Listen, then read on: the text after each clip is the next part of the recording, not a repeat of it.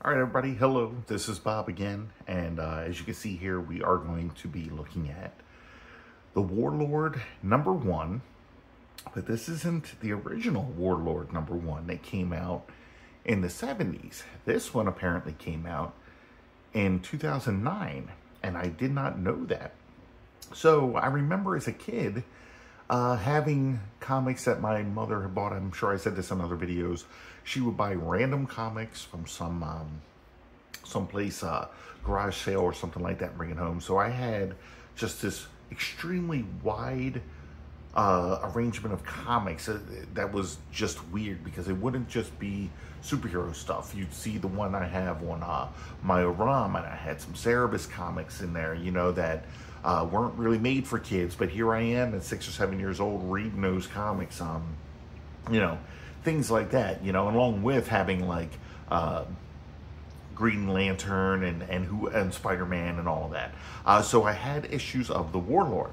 Uh, but in those issues, I remember reading it and loving the artwork as a kid. I was just like, you know, this is awesome. I, I was always into fantasy adventure. That's my primary thing uh, that I'm into. You know, I was a big Dungeons and Dragons fan and everything. And uh, that's what this book was. But it always seemed to me that the guy, the warlord himself, came from Earth, but I didn't know exactly like the whole thing. I didn't have many issues that like told you the entire origin or anything like that. Um, you know, but it resembled like Conan the Barbarian enough for me to get into. Uh, so, uh, of course, later on, I'm collecting a lot of the old warlords. I've got a gigantic stack of warlord over here that I was I'm reading through, and um, I was going through a dollar box one day and I came across warlord here, um, one and two. I don't have two right here with me. I thought I did. Uh, but I was like, oh, okay, Warlord 1 and 2, awesome. Uh, why are these in a dollar bin, right? Then I'm like, oh, it came out in 2009? What the hell is this? I didn't know that they had, like, relaunched it or whatever. But I was like, I want some Mike Grell art. I love Mike Grell. The, the artwork on Warlord was just amazing. So I'm going to go ahead and pick these up. And of course, uh, he doesn't draw the book. I was like, ah, fuck, come on, man. This I bought it for literally one reason, and that was Mike Grell artwork. You get his artwork on the cover uh, you're not getting the artwork inside here. So basically what we have is we have uh, some archaeologists whatever on an expedition here uh, who find a frozen dinosaur in a cave.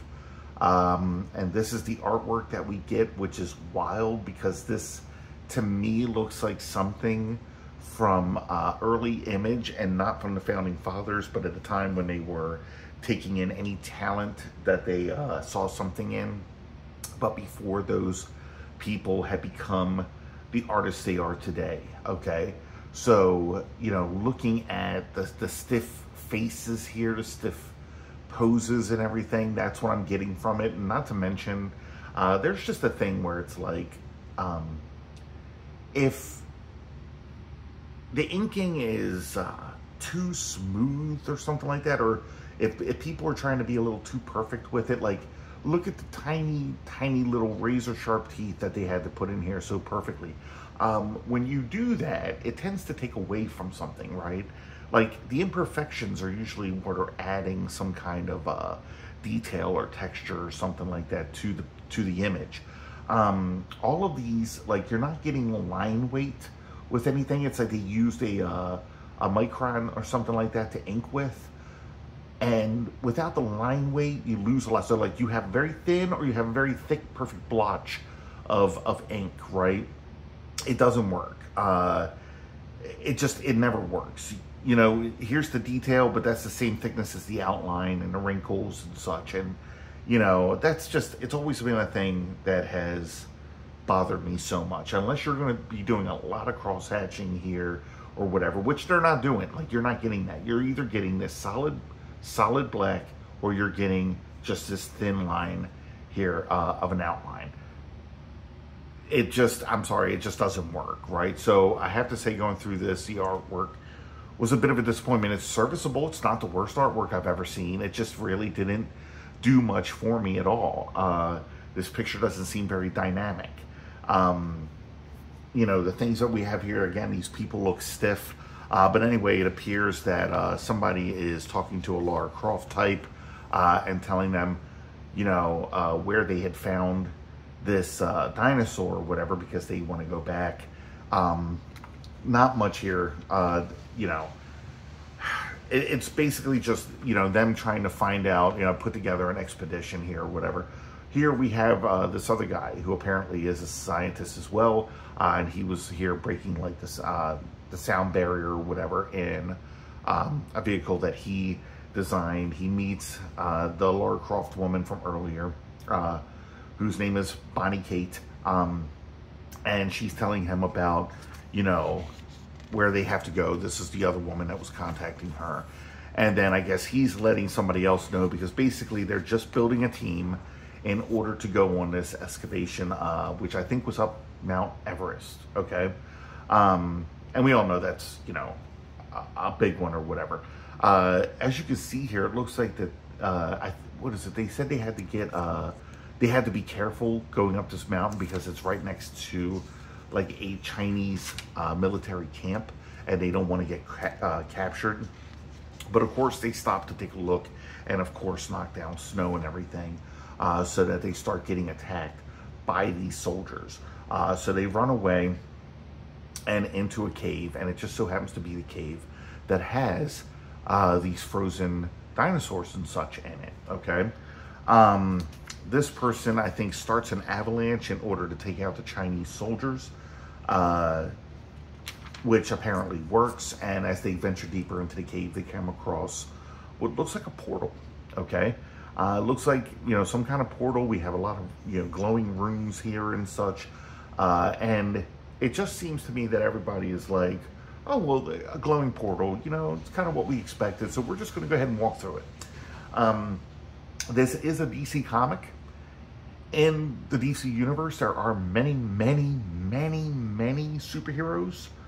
Uh, so no one should ever be surprised at anything that ever happens anywhere, right? Like all the magic is is there. There are magical superheroes. They've seen this, you know, people read this. No one should ever be shocked or stupefied by anything because it's all normal place here. Um, so they're just like, you know, well, we're going to go ahead through it, which they do. And now we cut to the story of Travis Morgan, uh, the warlord. Uh, now, it has been um, updated, the story.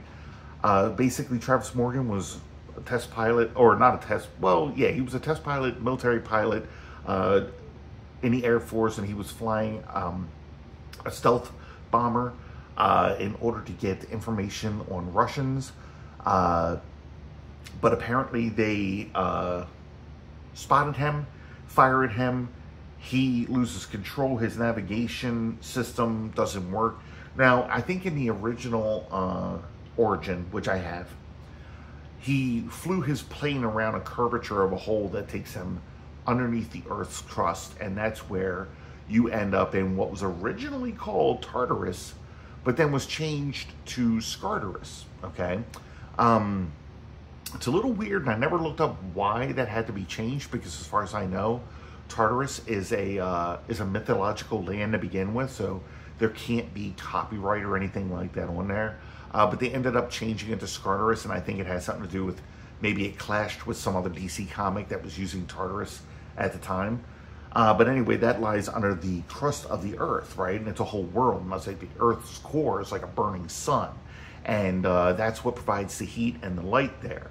And it's an eternal sun, so they don't have any daytime because they're not revolving around something uh, and they're not spinning, you know, it's spinning with them and it's constantly there. So also time runs differently uh, there. You could be there for years or whatever and it would just be a few days on Earth uh, or on the, the, actual Earth, like the upper crust.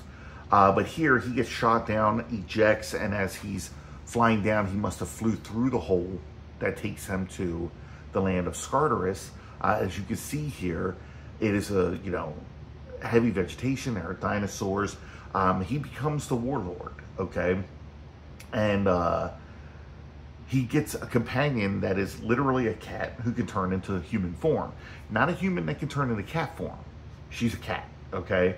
Uh, and that is your origin story for Travis Morgan, okay?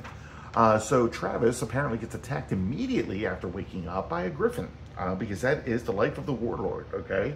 Uh, everything is a danger in Skartaris, and you have to be, you know, be able to handle it to, to live, and that's what made the warlord so great. Um, so uh, now in the, in the original comics, the warlord had an upper hand every time he got into a battle. He had a gun.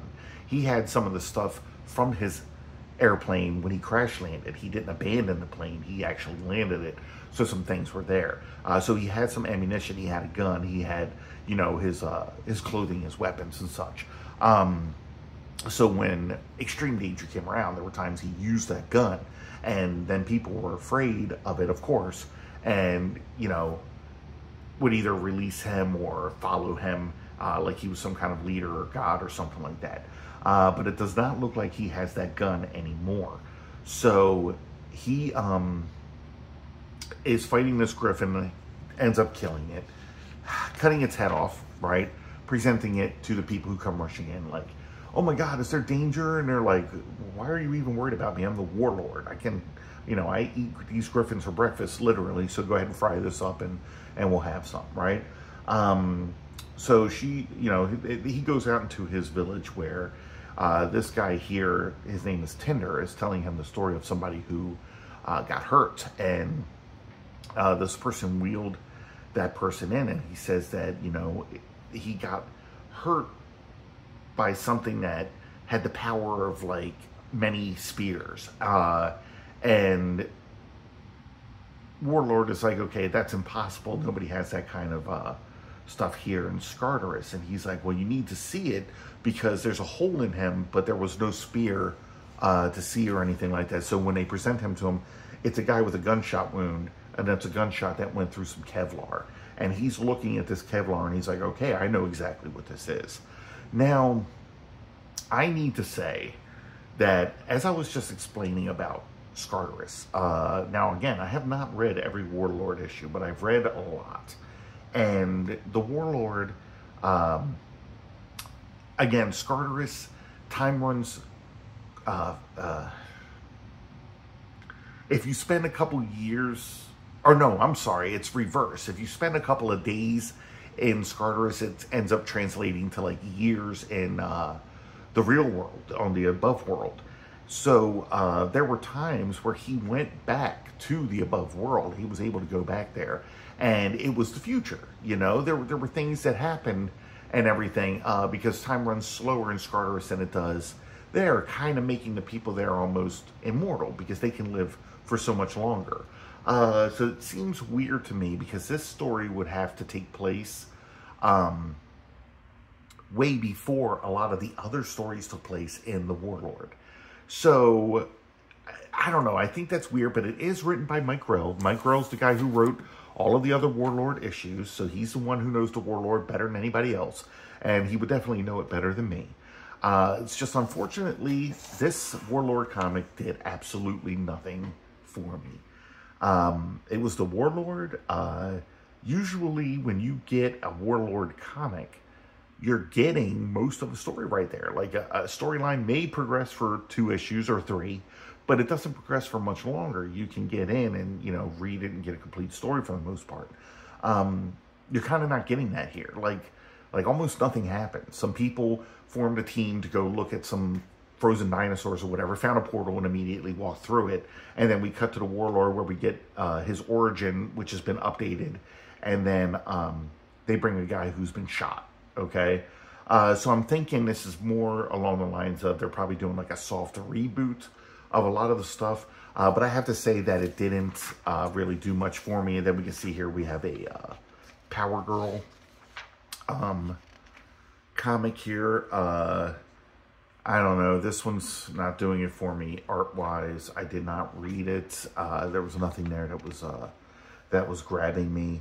Um, but okay, so I can see why this comic did not last long. Um, I don't know how many issues this ran with, but uh, yeah, I will go back to the original. So anyway, uh, this was The Warlord. I want to thank you guys for watching. If you liked the video, please hit like. It helps my channel grow. If you want to see more videos like this, hit subscribe. Thank you.